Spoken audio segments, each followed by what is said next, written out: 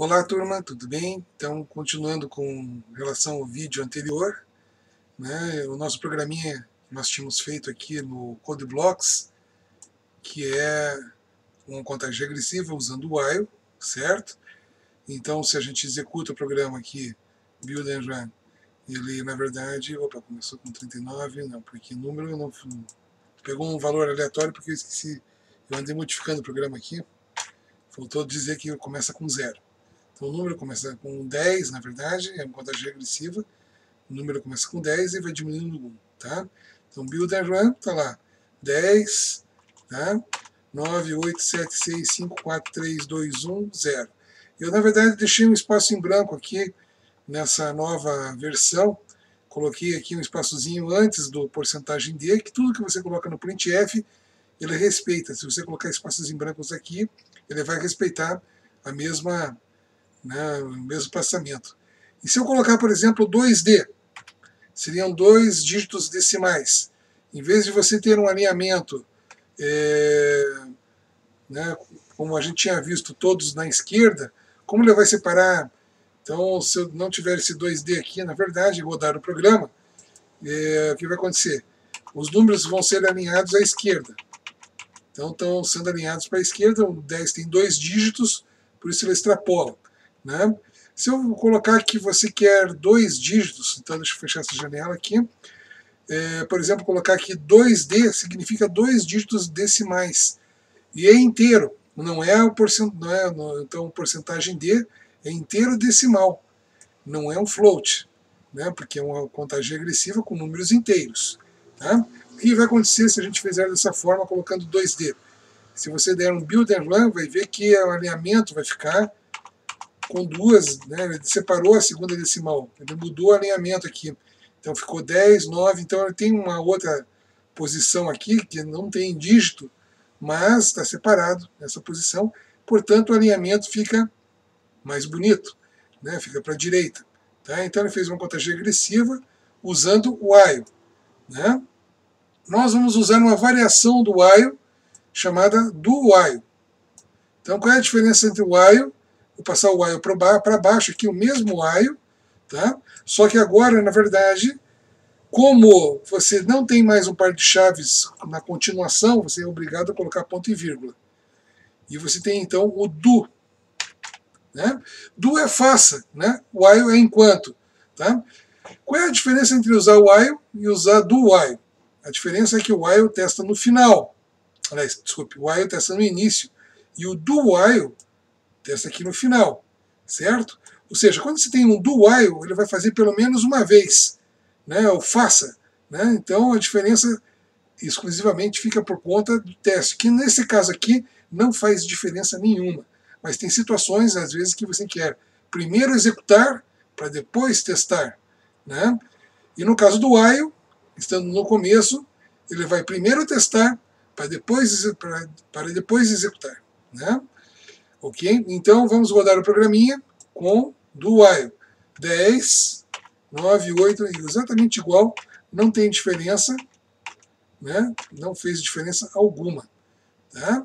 Bom, tudo bem, então nós temos aqui a execução, o código está aqui, né? É, então a diferença entre o while e o do while, na verdade, é que um testa no início e o outro vai executar pelo menos uma vez e vai testar no final. Tá certo? E o while pode não executar, caso a condição não seja satisfeita, ele nem entra. Aqui ele vai entrar e vai executar e depois ele vai testar. Nesse caso, numa contagem regressiva, não fez absolutamente nenhuma diferença. Né? Muito bem, daí temos uma terceira variação. Né? Então, tanto o while como o do while eles são ótimos para situações indeterminadas. Mas vocês viram, por exemplo, que né, eu não tenho, quando eu não tenho certeza de quantas vezes vai repetir o loop, que é o caso é, que a gente já vai ver em seguida, né? mas é, né, o, o while tanto faz, na verdade você vai testar quantas vezes vai repetir, né? e depois vai é, né, uma, tem um outro tipo de loop que a gente vai ver mais para frente, que é excelente para situações determinadas, quando você sabe exatamente quantas vezes você quer repetir. Tá? Antes de a gente partir para esse outro tipo de loop, eu vou passar aqui para vocês uma situação muito é, comum, que é um carregamento de uma aeronave. Então, esse é programinha, eu nem comecei, só comecei aqui, coloquei o include, o main, mas o programa está vazio. E ele se refere a uma situação basicamente real, né, onde você tem um peso máximo, capacidade de carga em peso de uma aeronave em quilogramas, e uma, um volume em metros cúbicos. Então, uma aeronave relativamente pequena, ela consegue carregar aí em torno de 2 toneladas, 2 mil quilos de peso e 10 metros cúbicos. Então, não é um avião grande, é um avião pequeno. Tá? Então, vamos supor que você está num pequeno aeroporto de aeroclube, de, né, assim, não é um aeroporto internacional nem nada disso, de, de interior ou algo parecido, e você construiu um programa para gerenciar o carregamento de carga. Muito bem, então nós vamos colocar aqui é, um título até para o programa. Então deixa eu até colocar aqui um printf. Tá? E nós vamos colocar aqui um título bacana, que vai ser tipo é, carregamento da aeronave.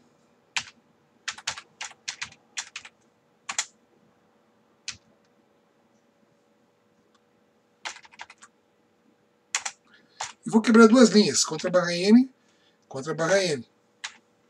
Certo? Muito bem. Então, é, vamos começar uma situação desse tipo aqui, uma situação onde é indeterminado. Qual é a condição de parada, então? Na verdade, você não sabe quantas vezes, quantas cargas vão, vão caber ali. Depende do volume da carga. Se você tem uma caixa pequena, se você tem uma caixa grande, é meio aleatório. Então tem dias que às vezes tem três caixas grandes com pouco peso, mas que ocuparam uns 10 metros cúbicos. Né? Então você tem situações eh, diversas aí, você não sabe quantas vezes vai repetir o loop. Nesse caso, você pode usar o do while ou while, tanto faz. Tá? Vamos começar com o while aqui então. Né? While, tá? Qual é a condição de parada para parar de carregar o avião?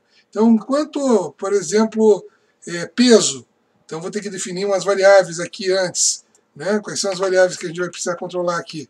Nós vamos precisar calcular o volume, então é inteiro? Não, é tipo float. Float, opa, o volume vai ser quebrado. Tanto o volume como o peso. Então peso, tá? volume. E para calcular o volume, você vai precisar de altura do, do da caixa, a largura a profundidade. Né?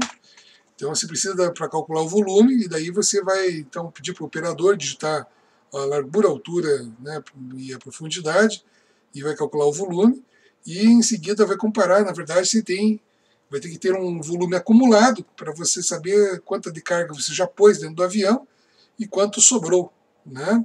Então vamos lá. É... Então, o while, né, na verdade, eu vou ter uma condição aqui que é, digamos, de peso. Peso for menor ou igual a 2000, está valendo. E vai ter uma situação de e ou de ou. Vamos pensar o seguinte, né? Para poder carregar a aeronave, você vai ter que ter, né, o peso tem que estar dentro do limite, tem que ser as duas coisas. Não pode ser uh, uma coisa ou outra, tem que estar dentro do limite de peso e também, então vai ter um E aqui, ó, e também um limite de volume. Tá? Então, volume, opa, volume tem que ser menor ou igual a 10. E eu vou assumir que é 10 metros cúbicos, eu vou pedir a medida em metros. Né? Então, não vou ficar convertendo unidades aqui. Tá? Então, peso tá? e volume. Tá? As medidas são, vão ter que ser as métricas mesmo. Tá? Então, enquanto peso. Então, pode ter duas condições? Pode. Você pode usar o e exatamente como você fez com o if. É possível fazer exatamente igual aqui. Né?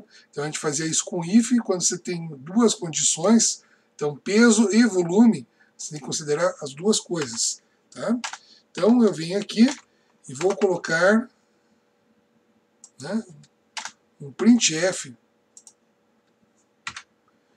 para é, que o usuário digite o peso. Do, do, né? Se o peso estourar, nem preciso ir para frente. Mas vamos lá, printf, tá? É, peso tá? da carga igual a e vou fazer a leitura desse peso. Então vou usar um scanf aqui, tá? Qual é o formato? Porcentagem F, float. Né? Vou ler com o E comercial aqui e vai ter a carga, então peso. A variável que eu declarei lá em cima, peso. Né? Então estou lendo o peso aqui. Muito bem. É, vou pedir agora mais uma informação. Agora entrei com o peso, agora eu vou pedir aqui o printf. Tá? É, largura. do volume da, da carga. Igual a, e vou fazer a leitura da largura. Então, scanf, tá? é um float também, float, tá? Vírgula, vamos colocar aqui um e comercial, e vamos, opa, colocar largura. O breve eu declarei lá em cima, largura. Tá? Então, largura, faltou altura, né? Tudo bem, altura, largura, mas vai para largura, altura, vai na meio fora de ordem aqui, mas printf. Porcentagem f, mesma coisa, eu vou ler, então, a variável, opa, aqui vai para fora daqui, e vou ler a, a, a altura. Opa, altura. É, então, portanto, largura, altura, printf, então ele deu ah,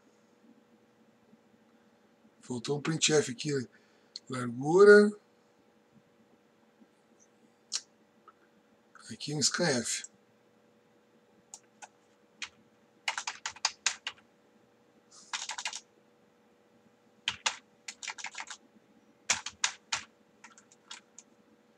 scanf, claro que tem que faltou um printf aqui, né? Das instruções para o carregador. Então printf eu tenho que colocar aqui é, altura da carga.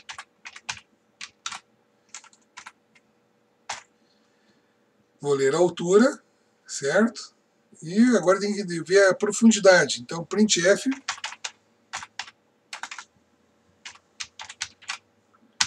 Profundidade também, um float. Né? Opa, printf. Primeiro as instruções. Já estou confundindo as coisas aqui. É, pula querendo é, ganhar etapas aqui. É, profundidade. Profundidade da carga. Então eu tenho as, as três dimensões. altura da carga igual a e vou ler aqui, igual a, tá? E vou, na verdade, fazer um scanf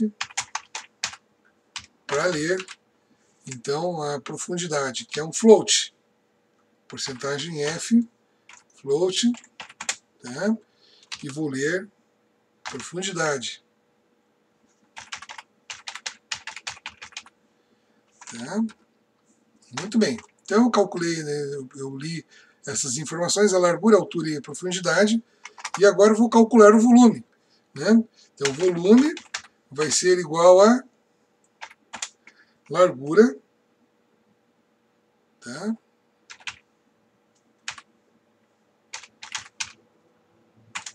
vezes o asterisco, altura,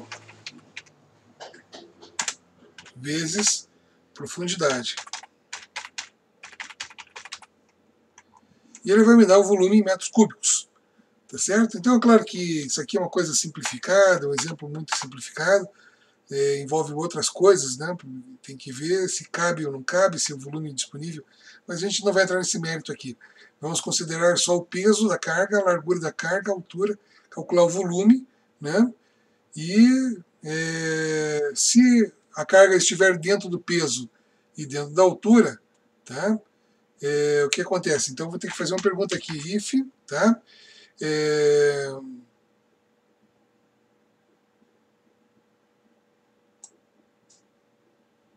Opa. Vamos pensar o seguinte. Se ainda está tá dentro, então na verdade ele vai acumular isso aqui, né? Então, é, vamos lá no peso igual e volume igual a 10. Só vai pôr carga no avião se realmente, então ele calculou aqui, essa nova carga cabe dentro? Cabe. Então adiciona no avião que vai ter um if aqui. Por que esse if é interessante? Porque às vezes você vai estourar aqui a capacidade e ele não pode colocar a carga dentro. Então peso é igual a peso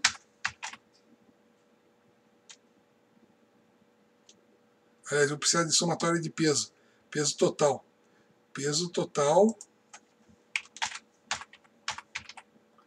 igual a peso total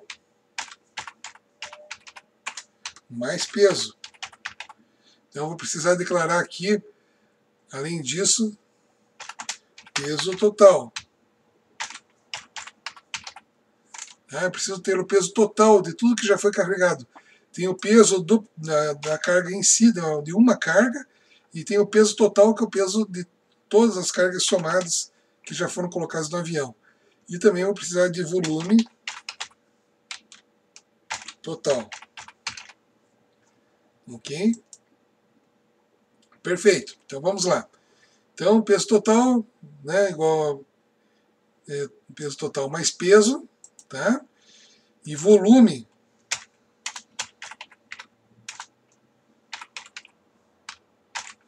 total vai ser igual a volume total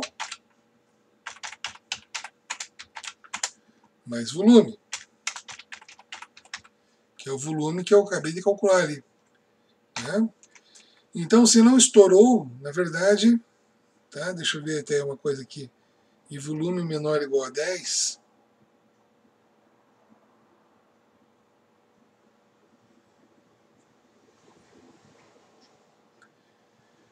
se o peso total for menor que 2.000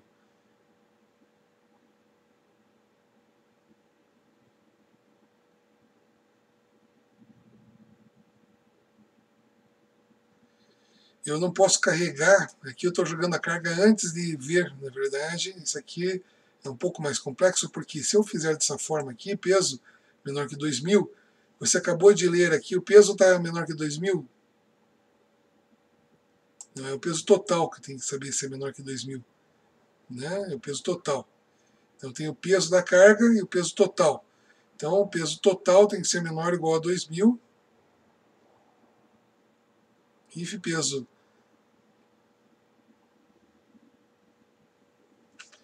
mais o peso total, vamos ver se a carga não passa do peso, né? Se você adicionar essa carga aqui, ela não vai passar do peso.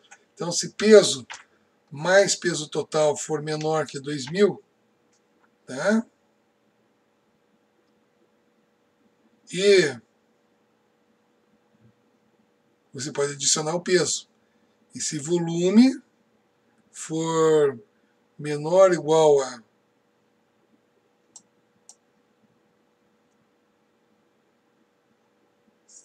mesma, coisa, na verdade. Se volume tá, é mais volume total, o volume que você acabou de adicionar é mais o volume acumulado, mais o volume total, se isso aqui for menor que 10, na verdade, você pode adicionar. Se não, não pode adicionar mais peso, nem pode adicionar mais volume. Então, veja, essa última carga aqui, vamos supor que o peso deu 1999, está quase no peso. Daí você vai, na verdade, colocar uma coisa de 5 quilos, ela não pode entrar, porque se o peso de 5 quilos mais o peso total for menor que 2.000, daí pode. Mas não é o caso, por exemplo, você colocou mais 5 quilos, extrapolou o peso. Então, o peso que você acabou de calcular só pode ser adicionado ao peso total se a soma desse com o peso total for menor que 2.000. Senão ele vai acumulando peso aqui, então ele vai pegar peso total igual peso total mais o peso que você acabou de adicionar. Volume total é o volume total que você tinha antes, mais o volume que você acabou de adicionar. E mesma coisa, o volume mais o volume dessa caixa, na verdade, passa de 10 metros cúbicos. Se passar, não pode adicionar. Né? Então, basicamente, isso aqui, ele vai acumular pesos e volumes, tá certo? E o que, o que vai acontecer aqui? Então, na verdade, então tem o volume, largura vezes altura, vezes profundidade, né? E vou... É, então, enquanto, na verdade, exatamente, ele vai fazer um while, tá? vai calcular o volume total. Então, vamos até agora, depois saindo do while aqui, né? o que, que nós vamos fazer? É, escrever a quantidade de... Vamos escrever o volume total carregado, tá? Então, vou colocar aqui, ó, printf,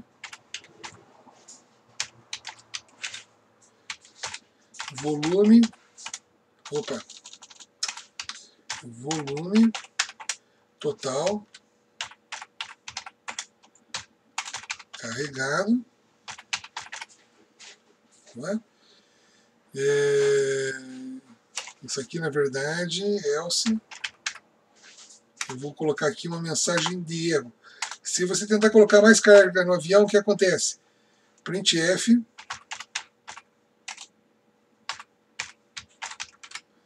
Então, contra barra N, contra barra N, tá? quebra duas linhas. Isso aqui são quebras de linha.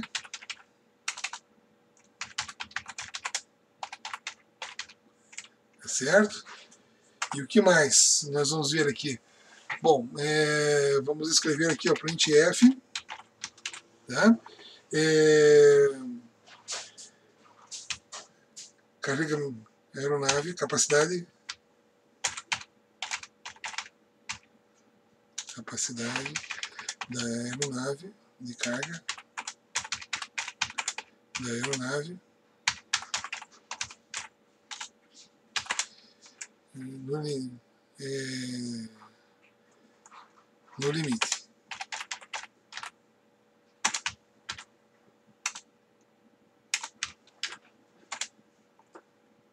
Capacidade de carga da aeronave no limite contra barra N contra barra N. Vou pular duas linhas aqui. Perfeito. Tá?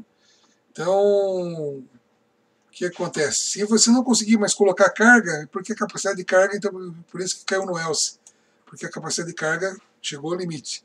Então, o volume total carregado. Quando você sair do loop, você vai ter o volume total carregado igual a... E vou colocar aqui um porcentagem float, porque carga é um float. Com quantas casas decimais? eu vou colocar aqui com duas casas decimais, ponto 2F. Então o ponto 2F é diferente do ponto do, do é, porcentagem 2D, que é em dois inteiros decimais. O ponto D está dizendo que é um float e tem duas casas decimais, depois da vírgula, ponto 2. Tá? Então volume total carregado igual a, ele vai mostrar então o volume total carregado. Eu vou quebrar a linha aqui contra a barra N, tá? Então até vou colocar aqui, e vou pedir para ele escrever então o volume total, né? Então, eu vou pedir aqui a variável volume, volume total, tá? Então eu estou colocando volume total, vou com sublinhado, não tem espaço em branco, olha lá, erro de, de variável aqui, não pode acontecer.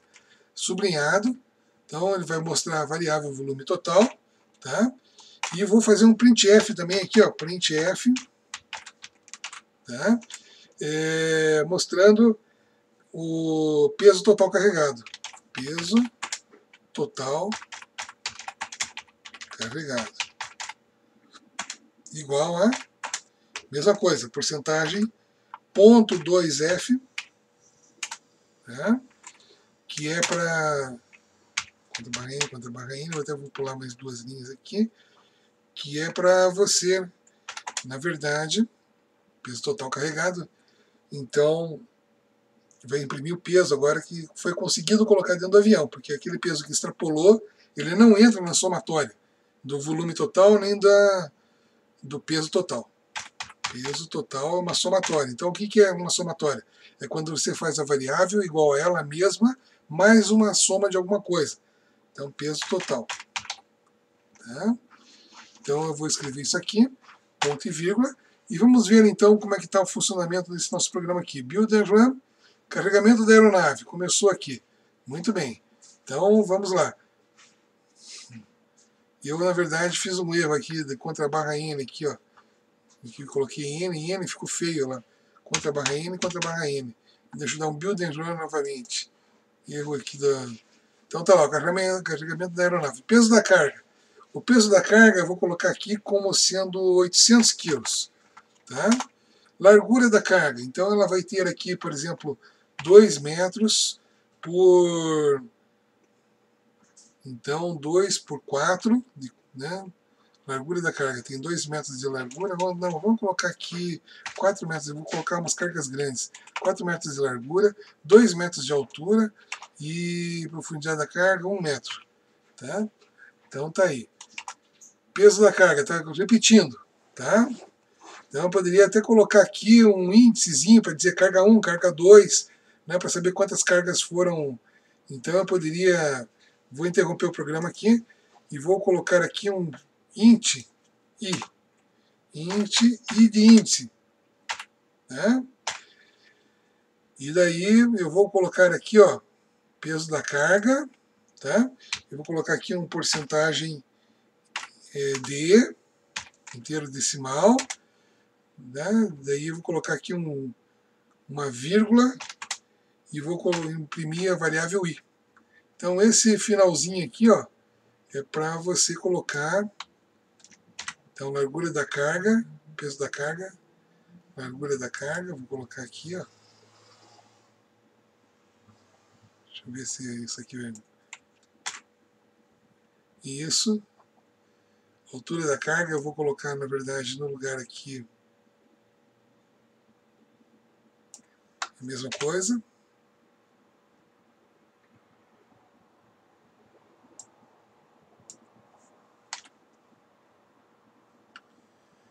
Altura da carga igual a da carga 1. Então o I, na verdade, vai assumir o valor de 1, 2, 3 assim por diante. Né? Então vou colocar aqui, profundidade da carga. E o I está aqui sobrando uma aspa aqui. Já vão ver que esse I vai funcionar, na verdade, como um índicezinho aqui na hora de ler a carga. Então tá lá, o Build and Run né, executando, olha lá, opa, peso da carga, por que aconteceu esse tipo de coisa aqui? É. int i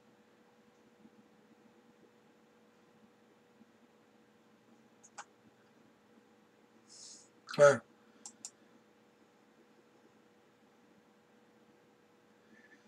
Toda vez que carregar a carga tem que fazer I igual a I mais 1. I começa com 1. Tá? E toda vez que você carregar uma carga, você faz I igual a I mais 1. I igual a I mais 1. Para poder, na verdade, o I estava com valor aleatório, esqueci de inicializar ele. Tem que começar com 1, na verdade, é a carga 1, né? e assim vai atualizando. Veja lá. Peso da carga 1, isso aqui que eu queria aparecer, 1 aqui, ó, peso da carga 1. Então a carga 1 tem 1.500 quilos, é nossa pesada.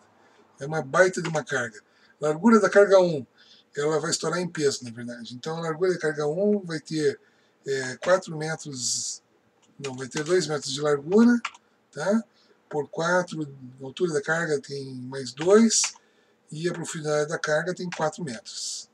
Opa, altura, largura, altura e profundidade em 1 metro.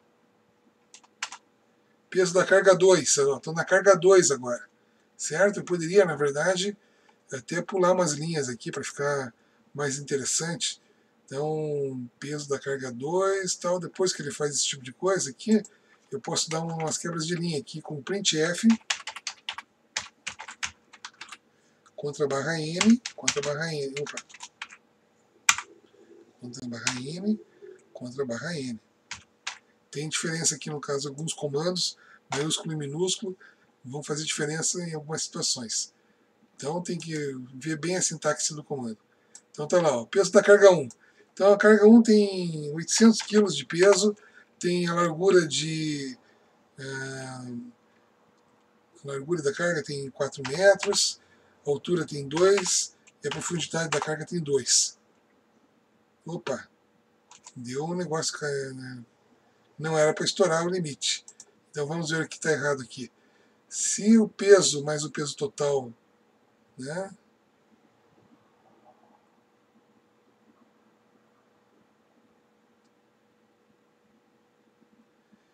Se o peso mais o peso total, peso, eu estou lendo, peso total eu esqueci de colocar que é igual a zero igual a zero, volume total igual a zero. Quando começa o programa, ele pode começar com qualquer lixo que tenha lá dentro da memória, então isso pode ser complicado. Build and run. Peso da carga 1, tem que inicializar o peso e tem que inicializar a altura. Peso da carga 1, 800 kg. Tá? Largura da carga 1, 4 metros. Tá? Altura, 2 metros e 2 metros. Só que ainda assim está dando erro. Né? Então começou com peso, na verdade, mais peso total, igual a 2000. Ele está caindo no else aqui, porque o if não está sendo satisfeito. Se o peso total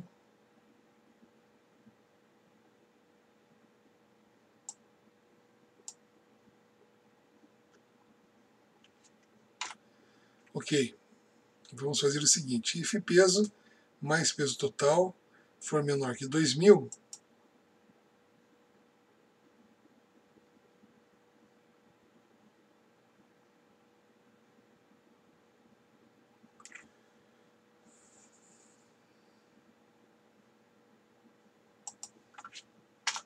Vou tirar esse parênteses aqui para dar uma olhada numa coisa aqui. Deixa eu ver aqui. Se eu peso mais o peso total for menor que 2.000, ele carrega a aeronave, né, se o volume mais o volume total, então ele calculou peso, peso total, ele entrou com o peso aqui. Se o peso for maior, né, se o peso mais o peso total for menor que 2.000, tá, daí ele faz essa adição da carga tá, e coloca aqui, capacidade de carga da aeronave no limite. Tá? Então não era para ter estourado a carga aqui, mas vamos dar uma olhadinha de novo aqui no Build and Run. Tá? Então, peso da carga 1, 800 quilos. Tá? Largura da carga 1, eu vou colocar aqui 2 metros por 2 por 2, um cubo. Peso da carga 2, tá? É... vai ter 500 quilos, tá? Qual é o volume da carga? Não pode passar de 10. Talvez tenha passado de 10 no volume, né? passou de 10. Tá? Não, não cabia a carga lá. Então essa carga aqui vai ter é, 0,5, 0,5, não estou usando separado não a página de, de idiomas, então tenho que ver a altura da carga. Então ela tem a largura da carga 0,5, é, 0,7, tá? e a profundidade 0,5. 0,3. Tá? Tudo bem. Peso da carga 3. Ela tem mais, vamos, estou com 1.300 quilos, vou colocar aqui mais 750 quilos, já vai estourar o peso da carga aqui. Largura da carga 3 vai ter 1 por 2 por 1. Capacidade de carga da aeronave no limite. Tá? Então, ele está esperando aqui que eu digite aqui o peso da carga 3 ele voltou aqui, o i não foi atualizado, ele ficou parado, tá? É, mas ele tinha que ter saído do loop, né?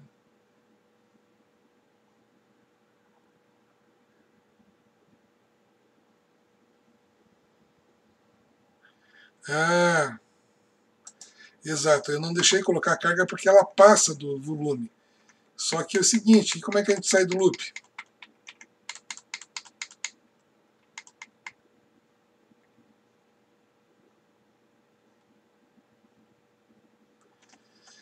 Então a condição de parada vai ter que ser outra. Tá? É, vai ter que ter aqui 21 peso, vamos ter que ter uma outra condição de parada, que seria um char. Char.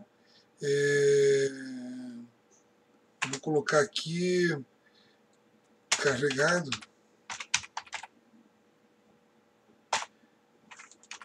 Então eu vou começar aqui com carregado igual a não.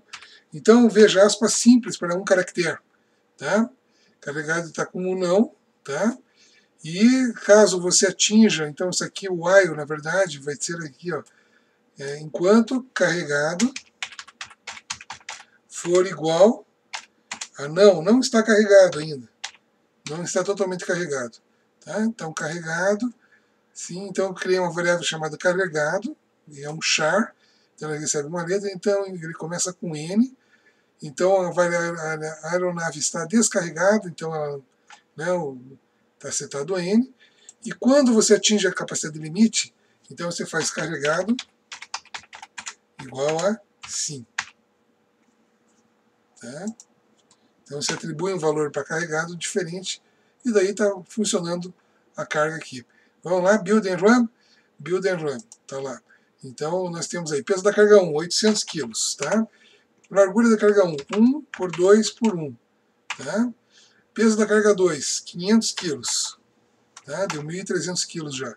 É, também tem 1 por 2 por 1. Tá? Agora vai ter uma carga grande, que vai ter, por exemplo, é,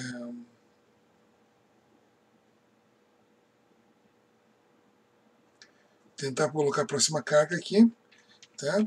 É, que vai extrapolar o limite. Então, vou colocar aqui mil quilos já vai estar, né, peso da carga 3, mil quilos, a largura da carga 3 tem 2 por 3 por 2.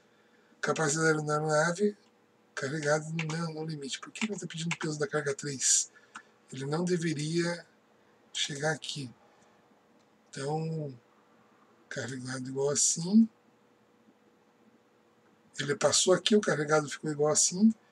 E ele não deveria perguntar carregado igual a não o L carregado for igual, comparação, né? Igual a não. Comparação são dois sinais de igual. Um erro clássico aqui, ó. E um erro crasso, né? Como a gente fala. É, então, na verdade, dois sinais de igual. Daí, então foi um erro de comparação aqui, né? Quando você faz um sinal de igual, você está fazendo atribuição. Peso da carga 1, 800 quilos. Tá? Largura da carga 1, é, 1 por 2 por 1. Tá? É, outra, né, então 500 quilos, mesmo volume. 1 por, por 2 por 1. Tá? Peso da carga 3, vai extrapolar, aqui vou colocar 1000 quilos. 1000, e a carga 3 tem 2 por 2 por 2. Né? Volume total carregado, 4, porque ele não aceitou esse último aqui, ó. Tá? Então, na verdade, deu 4 metros cúbicos e deu 1.300 quilos. Que ele pegou os dois primeiros aqui, porque essa carga aqui extrapolou o limite. Não poderia. Né? É claro que o programa poderia fazer é, uma pergunta do tipo: se quer substituir por outra carga? Tá? Sim ou não? Né? Então. É, na verdade, você poderia ver se tem outra carga, tal, mas na verdade isso aqui já é o suficiente. Então vocês vejam, é um loop indeterminado. Você não sabe quantas vezes, então tem o while, enquanto o carregado estiver setado como não, o avião não está carregado, e quando que vai estar carregado? Quando você atingir o volume total. Só que a última carga, ela era enorme, ela não cabia dentro do avião. Se você adicionasse, ela é, ia ter problema. Então você vai ter que fazer um if antes. Se o peso que você está tentando colocar mais o peso que já está lá, é menor que 2.000. Então não adianta comparar o peso total. Tem que ver se esse peso aqui que você está tentando colocar, junto com o peso do que já está lá, não extrapola o peso. Mesma coisa o volume. Você tem que ver se o volume do que você calculou, mais o volume do que já está lá, não extrapola o volume né, total. E nós, então, é, vamos encerrar por aqui. Tá? Deixa eu voltar aqui. É, E a gente continua então com o próximo vídeo é, falando sobre uma estrutura de repetição com um laço determinado, um loop determinado. Você sabe exatamente quantas vezes vai se repetir aquela ação. Ok? Obrigado e até o próximo vídeo.